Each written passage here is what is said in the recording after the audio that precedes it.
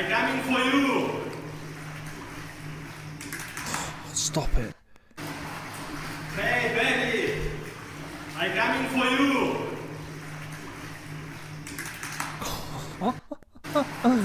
hey. What's good, family? It's your man, the YB. Back once again. Big shout out to my doggy, Pat Flanagan, for coming through and boosting the coin up 100%. Respect, General. So, we just heard there from your man's Alexander. Very nice, I like. Your wife nice, I like. Usyk, airing that, and this guy is getting off on Tyson. Oh, scary, scary ass dude. I have to be honest with you, man. Mirror, mirror on the wall, who is the scariest of them all? It's your man Tyson Scary. That's what the facts are showing right now. I've never seen anyone, I say every time. Usyk stay on this dude's neck. Yeah? He's staying on the next hair, my man. Some next pagan hair in your man Beat's mouth. This guy's staying on Tyson Scary's neck. Where the guy at? Where he at? Where, where he at? Don't no know. No word of a lie, I've never seen someone so missing. I've never seen someone with. People say, why be with, with? We're getting tired of this. I'm getting tired of it too. I'm getting tired of Usyk dragging this guy. Yeah, it's a shame. It's lucky in a way Tyson Fury don't have any hair on his barnet. Yeah, it's a shame. Well, it's lucky for him he don't have a hairy barnet. Because if he did, your man Usyk would be cleaning the floor with it now, mopping the floor up. That's what he's been doing. He's been dragging this guy. Big facts. Not even a bit of a look at that. Then stop it. That bit there. That's just muggins. How you doing it? How's Fury? People need to listen. Any Team Fury dons out there need to let me know. How is he allowing Usyk to get off on dude? Like, Look at that. It's slapping away. Stop it. Look here. No respect. Absolutely no respect for the most dangerous heavyweight in the world. And Usyk out here just slapping his belly, mugging this guy off. And you know, I, I gotta be honest with you, I'm just waiting now. And this is how I'll know ultimately. I mean, I'm 99% sure the fight isn't going to happen anyway, but I'll know that Fury's completely bugged out and ducked this fight when Fury, I can feel it already, when Fury starts coming with the SJW social justice warrior narrative. Meaning, well, I'm telling you now, if we start hearing Fury saying things like, oh, why is Fury, why is Usyk bringing my body into it? You know, it's 2023 and, you know, every, everyone can't have a good looking body and everyone's built different and we're all beautiful on the inside. And if I, if I start hearing them bars, yeah, that'll tell you that Fury got no intention of fighting this guy because guess what? If someone has an intention to fight someone, they ain't interested in trying to score SJW points because they say, listen, he can do all the he wants. We'll see how much he be slapping his belly when the shots are flying. Yeah, that's what you say. Innit? You don't need to rely on other things.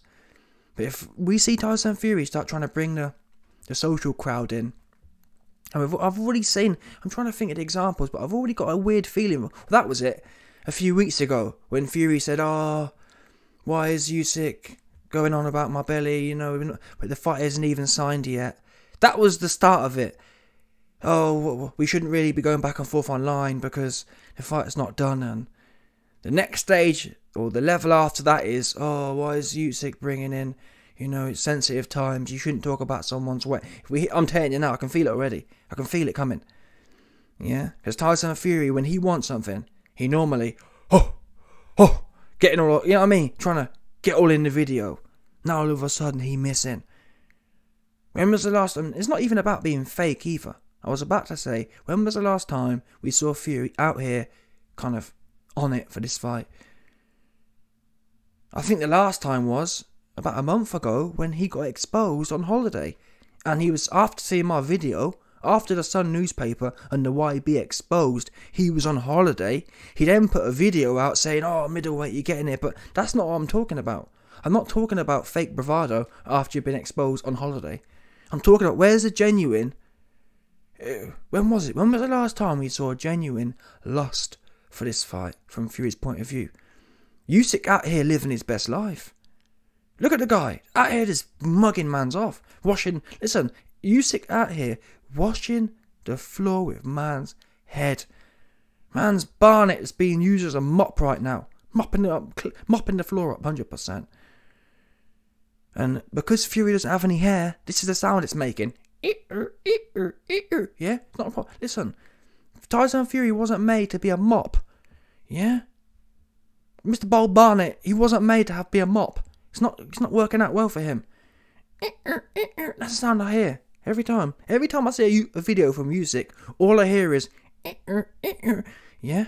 Tyson Fury's Bold Barnett rubbing against the marble floor because Usyk he be cleaning, washing, dragging that Don's head all around the floor. Make sure it's super duper clean. Yeah.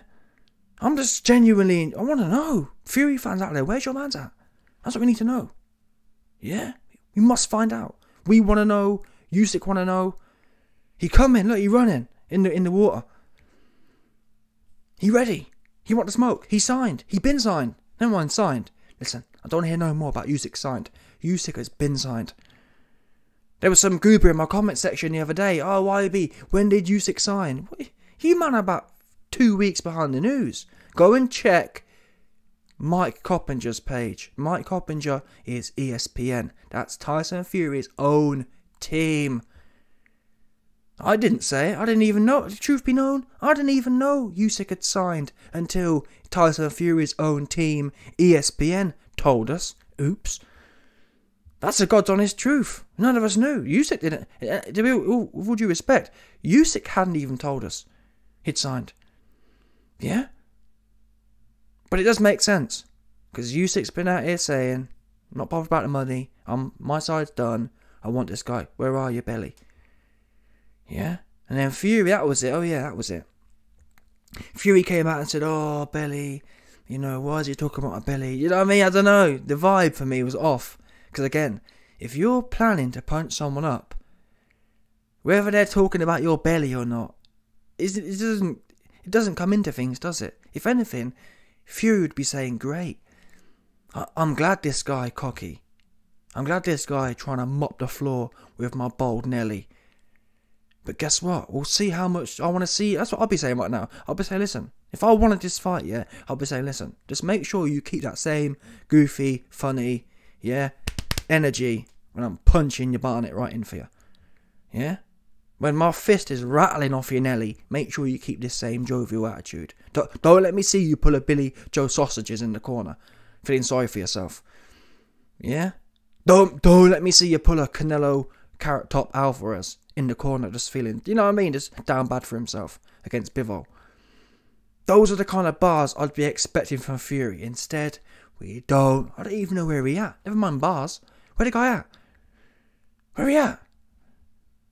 Oh, oh, Ngannou. Oh, oh, Ngannou. Oh, Ngannou? Yeah? What's this? Fury, I think Fury, he loved punching up big buff bulbous dudes who can't squabble. Wilder, clearly, I'm sorry, but Wilder can't squabble. End of the day. If you, in my opinion, if you get washed, I'm telling you now, Joe Joyce will deal with Fury, in my opinion. Joe Joyce, he can tangle, in my opinion. Wilder, he can't tangle. Bottom line, if uh, Fury, yeah, he's a solid dude, but I don't. Um, I mean, that Chisora fight did it for me. Yeah, before the Chisora fight, I was on the bandwagon fully. I was gassed. Yeah, man, this guy on the next level. But after seeing that Chisora fight, that that that really did put things in perspective. Wilder has some some serious questions to be said about Wilder after seeing what Chisora went through three times. You know what I'm saying? I'm thinking, if why is it Chisora could hold up to all the shots, no problem, and Wilder was on the floor like spaghetti. You know what I'm saying? So that did that does it for me, and I'm thinking to myself, wait a minute, if Tyson Fury can't put a dent in Chisora, even Joseph Parker put Chisora down, and we saw what Joe Joyce did to Parker. If you can't seriously punch, I'd say Dubois. Dubois was the last guy who Joe Joyce had respect for. And look what happened to him. Even he got, even he lost. But in my opinion, Tyson Fury does not punch as hard as Daniel Dubois. That's what the Chisora fight showed, in my opinion. And if you don't punch as hard as Daniel Dubois, Joe Joyce, he going straight through you. I think there's an argument that Tyson Fury might punch less more powerful than Parker. Truth be known, or they're similar. Parker's got the whole. People forget Parker had the whole stubby Mike Tyson thing going on until he fought AJ. You know, go back and watch Parker versus Hughie Fury. He was the New Zealand Mike Tyson at, at the time, and then he fought AJ and lost his bottle. But anyway, I've digressed. End of the day, man. Never mind Joe Joyce. Where's Fury at with Usyk? Honestly, it's it's one of the most. Uh, it's un, uh, I don't know what to say, people. Yes, Fury let me down in the Chisora fight, but even so, I'm genuinely surprised. Not I'm not biased. I'm genuinely surprised to see how this is going. I didn't see this coming, in as much as I didn't see Fury actually ducking this fight. But the more time it goes on, can you people can you believe yeah? It's been two and a half months since the Chisora fight. And can you believe this fight's supposed to be happening in three weeks? Do you, do you know what I mean? Like, just because just because time has elapsed, that doesn't mean what was meant to be wasn't meant to be. Yeah? March 3rd, that was supposed to be real, people. Just because Fury has stretched this out and it's now looking like December 2022, 2023, sorry, as I said it would be. I said, I've been said this. I've been told Joe Joyce. I said, Joe, if you listen to Frank Warren, you'll be lucky to fight in 2025. And here we are. Frank Warren was telling Joe, yeah, Joe, you're going to be fighting Fury in February. Do you know what I mean? Fury, fight Fury in February. Usyk won't even fight Fury in February. And I think what Fury's doing is, I think he's clocked on that, ooh, if I just keep stretching this out, at some point, a governing body for Usyk's belts, because we know the WBC, they ain't gonna do nothing. But because Usyk has three belts, there's so much weight behind that, mandatories, and it's just almost impossible. At some point, the governing bodies are going to say, Usyk, we've ordered your fight. You, must, you know I mean? That's what's coming. I think that's what Fury's waiting for. Especially, I think he's particularly holding out for the whole Ramadan thing. I think he's holding out for that because once we get to Ramadan, I'm not even sure when Ramadan is, but either way, whenever that break is, because remember, Usyk wanted to fight before March 3rd. I think Fury's plan is to stretch that date, and then that gives him a clear three month window to say, well, can't happen anyway, um, um, Ramadan. Do you know what I'm saying? Because guess what? I mean, I ain't gonna lie to you. Back in December, for this fight not to be signed by February 15th, it is now more or less. I would have told you impossible. And let's be real now. These people, I remember back in December doing videos saying, well, the March 3rd fight, there's 10 weeks. I think it was even more than that. You know, it was, wait a minute. In December, we had 12 weeks, people. Whole of December, whole of January, whole of February. And then a week. So yeah, three months, three full months. That's how much time we had. December 3rd to March 3rd. That's like, I remember at the time saying, listen, Fury, he can have two weeks off and then a 10 week camp. I think it's even more than that because three months isn't actually 12 weeks. You get an extra week thrown in. So it's like Fury could have two, three weeks off and then have a 10 week camp.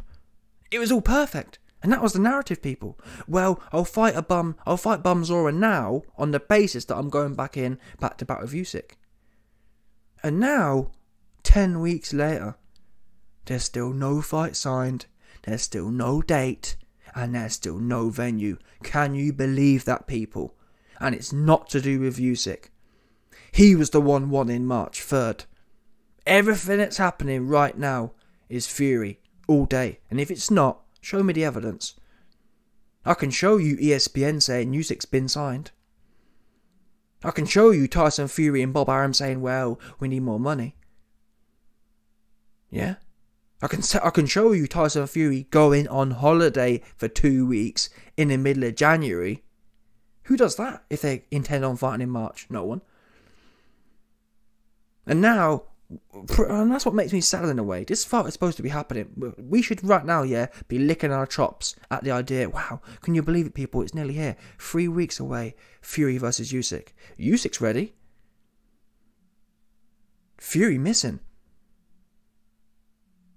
And every time I get suckered thinking, uh, it's kind of like, I think, it's a bit like Tommy Fury. Tommy Fury, I'm 80% sure, is going to pull out of this Jake Paul fight. And every time I get suckered thinking, oh no, I think to myself, surely not again. You know what I mean? I think to myself, surely there's no way these guys can clown off like because it's not like it's not on the cards. These guys literally signed contracts. Fury signed a contract with AJ in May 2021. It was signed.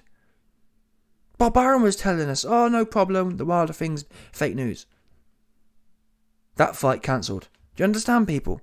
F- Tommy Fury three times in a row. Oh, it's signed.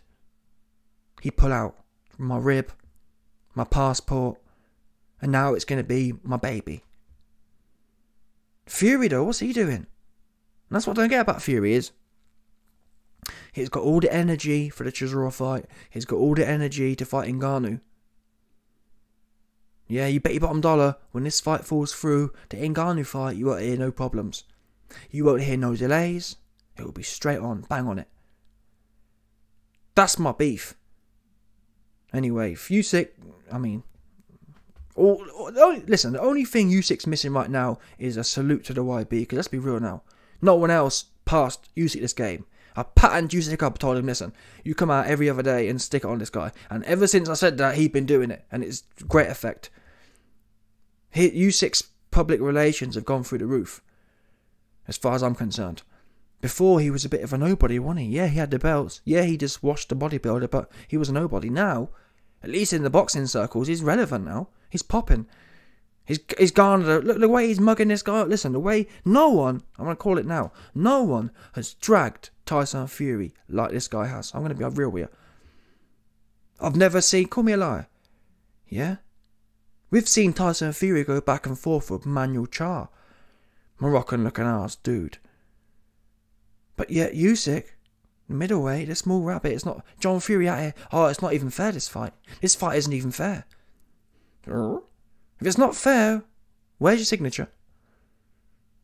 Oh well, YB. You see, the thing is, apples and pears, and boxers only have a small time, a small time in their career, so we need to maximise the money. Usyk's, in fact, even older than Fury. He's not concerned to the extent of not signing. Oops. Anyway, Usyk, keep doing your thing, keep dragging this guy. If I was you, I'd, if I was Usyk, I'd be out here every day, just a little piece. Doesn't take long. Yeah, belly. You're scary, but belly, hundred percent. You're obviously getting off on him some more. Why not? Right now, it appears to be open game on Team Fury. Tommy and Tommy's another one. He go missing. Don't know know where he is. Tommy Fury, after missing the press conference, did not put a statement out. Yes, he sent his gopher. That don't mean nothing. Where's Tommy Fury's statement? I'll tell you where it is. He know he ain't fighting. He wants to lay as low as possible. He don't want to go out like Dylan Bummis. Dylan Bummis, when he pulled out of the KSI fight, yeah, he don't want that one. He wants to keep his profile low and just slip off into the night. And I think by the looks of things, that's what Fury doing as that's what Tyson doing as well. He's trying to slip off and slink off into the Ngannou fight. Anyway, let me know your thoughts. Smash the like button, subscribe, and let off the bell. There's no doubt about it. Can't find the exit button either. Where's the pagan exit button on this thing? 100%.